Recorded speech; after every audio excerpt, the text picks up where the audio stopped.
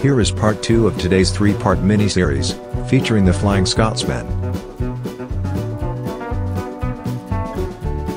At first, after using the NYC Dreyfuss Hudson and the 20th Century Limited, I wondered if I could use the Superclass 47 to push any train, but after failing with a couple, I improvised by moving the diesel to the front behind the steam engine, and seemed to have gotten better results in terms of the train just moving forward with the diesel coupled to it.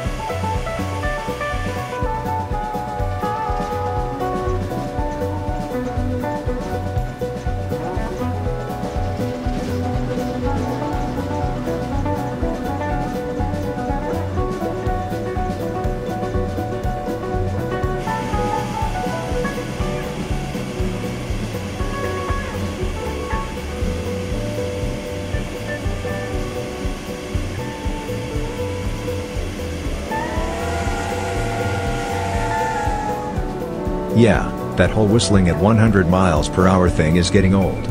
Maybe annoying. I even forgot why I started doing that in the first place. Maybe it's because of when I first bought this game back in 2015-2016 and I succeeded in driving the Flying Scotsman up to 100 miles per hour, and I playfully pressed the whistle button as a little celebratory too, and it must have been a running gag ever since.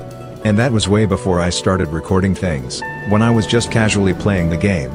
But maybe that running gag has gone on for far too long.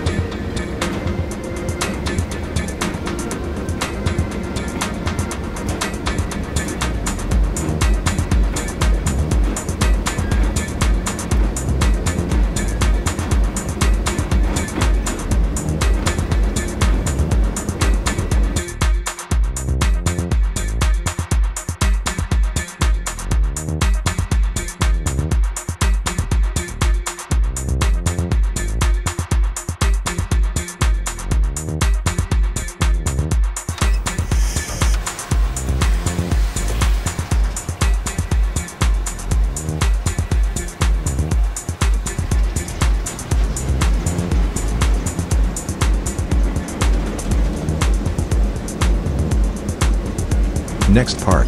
Union Pacific 844.